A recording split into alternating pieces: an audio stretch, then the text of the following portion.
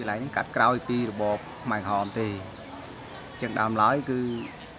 ជាអនុជាឡៃពូកន្លែងប៉ុន្តែមានទីតាំងនៅកន្លែងសាលាស្រុកមេសាងយើងចឹងរហូតមកទល់នឹងឆ្នាំ88គឺលោកនាយកប៊ូសមុនយកចាស់ចឹងគាត់បានលើកទីតាំងពីអនុជាឡៃពូកន្លែងមកដាក់នៅនេះឆ្នាំ1988ចឹងដែលកើតដំបូងនៅឆ្នាំ1988ហើយចាប់ផ្ដើមបើកចេញជាជាឡៃនៅឆ្នាំ1990ហើយនិង91 ចឹងមកគ្រួងបច្ចុប្បន្ននេះគឺជាឡៃហ្នឹងចាត់ទុកថាមានអាយុយូរដែរហើយចឹងនៅពេលដែលមកបើកនៅទីនេះគឺទីនេះធ្លាប់តែជាដីដបោកហើយនិងដីស្រែចឹងកន្លែងនេះគឺជាដីដបោកធំហើយកន្លែងនេះគឺជាដំណើរសាកសពរហូតមកហ្នឹងដែលពួកខ្មែរផងបានវាយទម្លាក់ពីលើដបោកហើយពីវិញមកដាក់កន្លែងក្លុកកបីឬក៏ជាអូហ្នឹងកន្លែងហ្នឹងជាដំណើរសាកសពហ្នឹងអញ្ចឹងដល់ពេលលោកនាយកគាត់លើកជាឡៃ លើកសាលាពីកន្លែងសាលាស្រុកហ្នឹងមកដាក់ទៅនេះគឺឈូសឆាយអាដីហ្នឹងគឺឃើញសាកសពឬក៏ឃើញក្បាលខ្មោចច្រើនអញ្ចឹងគាត់បានឲ្យសិស្សនៅចំនួនហ្នឹងគឺប្រមូលក្បាលខ្មោចហ្នឹងប្រហែលជា50អញ្ចឹងគេដុតចោលហើយចាប់ដើមយកគ្រឿងចាក់មកគីឈូសឆាយអាដីតបោកទូលហ្នឹងយកទៅដាក់នៅកន្លែងតារាងបាល់ឬកន្លែងណាទៀតទៀតជាដីស្រែរវាងឆ្នាំ90 91គឺ គេដូរទីតាំងពីអនុវិទ្យាល័យពូកន្លែងហ្នឹងគឺនាំសិស្សខ្ញុំក៏បាននាំសិស្សគឺកាត់ទឹកព្រែកហ្នឹងនាំគ្នាមកធ្វើបរិស្ថានដើម្បីកសាងសាលារៀននៅទីនេះហើយកន្លែងនោះគឺទីទូលមានព្រៃអឺហើយគឺដីគឺនៅកលិចកឡុកមិនទាន់បានស្អាតទេអញ្ចឹងក្រោយពីខ្ញុំដឹកនាំសិស្សធ្វើពលកម្មមក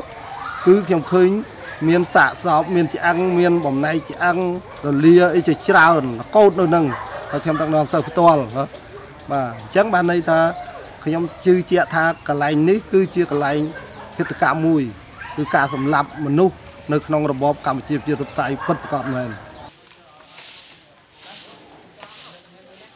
សិស្សដឹង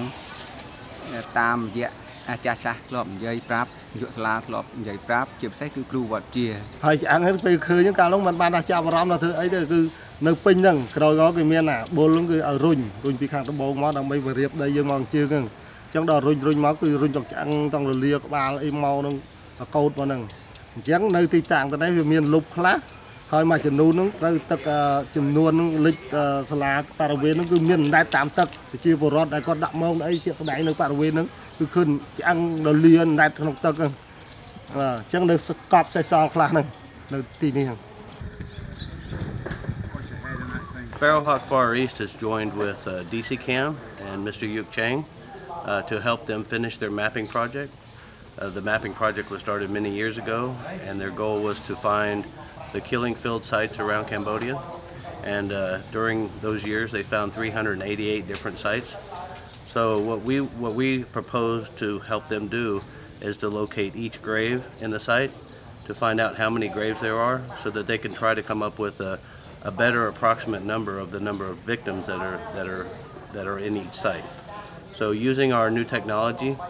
a ground penetrating radar, we can actually look under the ground and find the graves and see how big they are, how deep they are, how long they are.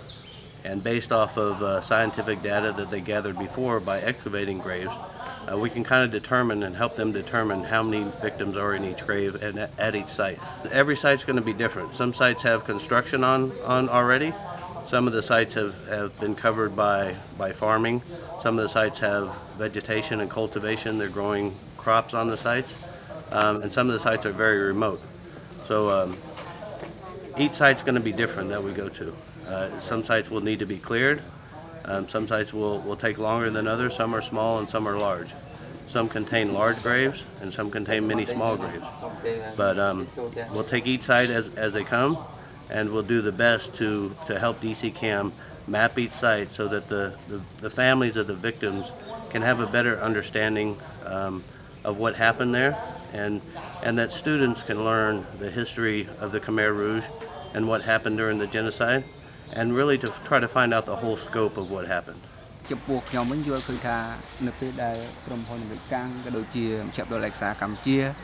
គាត់បានយកម៉ាស៊ីនតាមបច្ចេកវិទ្យាទំនើបមក scan នៅជាឡៃមេសាងនេះខ្ញុំយល់ឃើញថាល្អប្រសើរជាការរុករកមួយដែលអត់រំខានដល់សាកសពជាការ scan មួយដែលបង្ហាញបច្ចេកវិទ្យាទាន់សម័យរបស់ពិភពលោក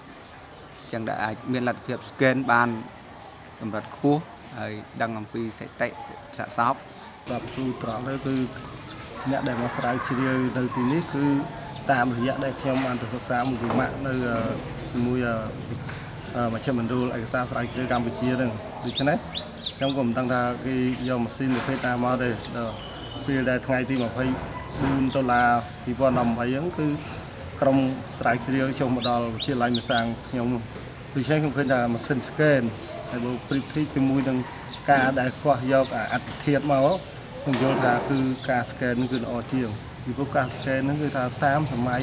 វិទ្យាសាស្ត្រទំនើបហ្នឹងគេធ្វើការតាមហៅបច្ចេកវិទ្យាទំនើបហ្នឹងហើយបើយើងខ្វះសាកសពមកត្មងគឺថាធ្វើឲ្យ ទីមួយវាខុសប្រពៃណីឆ្អឹងឆ្អែងដែលគេដាក់ឲ្យយើងធ្វើទៅវាខុសទី2វាខូចបរិស្ថាននេះទី3ធ្វើឲ្យសិស្សឬវិជ្ជាពលរដ្ឋឃើញអាហ្នឹងវាអាចទៅខ្លាចទៅអីជាដើមអញ្ចឹងអាវិធី scan នេះគឺជាវិធីមួយដែលតាមលក្ខណៈវិទ្យាសាស្ត្រខ្ញុំយល់ថា scan ល្អជាងពេលដែលខ្ញុំឃើញក្រុមការងាររបស់លោកពូមកអញ្ចឹងទៅខ្ញុំមានអារម្មណ៍ថាសប្បាយចិត្តព្រោះអីខ្ញុំក៏ចង់ដឹងថានៅទីហ្នឹងមានអ្នកគេសម្លាប់ប្រជាជនអស់ប្រហែលដែរអញ្ចឹងខ្ញុំសប្បាយចិត្តចាស់ចាស់យាយតាពុកម្ដាយរបស់ខ្ញុំ ប្រាប់ខ្ញុំកាលខ្ញុំនៅចូលចឹងគាត់ថានៅខាងជើងវត្តខូចឬក៏សាលាវិទ្យាល័យមេសាំងមានរណ្ដៅសាក់សពបន្សល់ទុកពីសម័យខ្មែរក្រហមព្រោះឲ្យធ្លាប់ពុកតារបស់ខ្ញុំក៏ធ្លាប់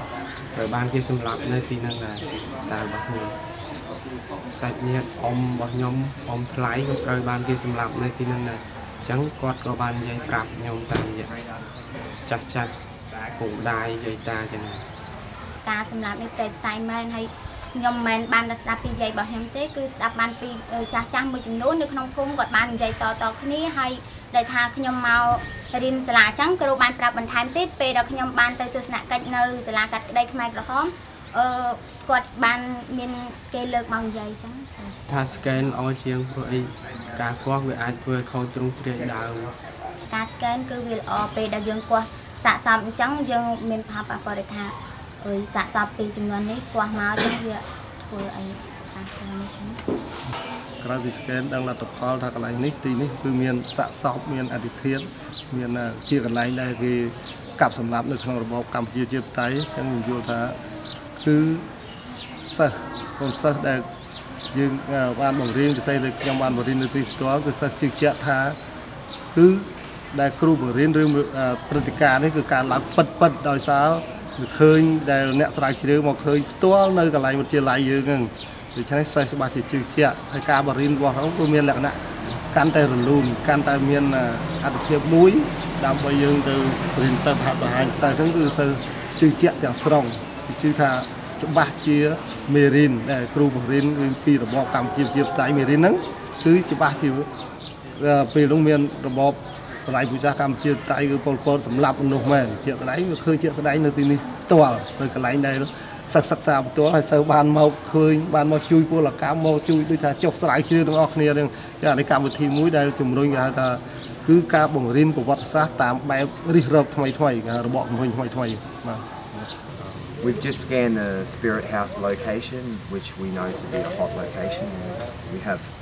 many hyperbolas, which are the peaks the radar signal sensor fires a signal down and when the signal comes back and receives it arcs down and then curves back up and picks up the signal. So here we have some curved anomalies which are probably bones or skulls. Here. So as you can see with the depth slice it's very we can very clearly see it with the depth slice when we start to cut down. And come. So most of these are yeah from so these are these graves are from approximately 40 centimeters. That's about just 45 centimeters down. So it's only the grave's only 50 centimeters below the so uh, half a meter below. They, they haven't they haven't dug deep. They're very shallow, half a meter, less than half a meter, maybe 45. Yep. But and it's going down more than a metre down to about 1.6 metres or something. So.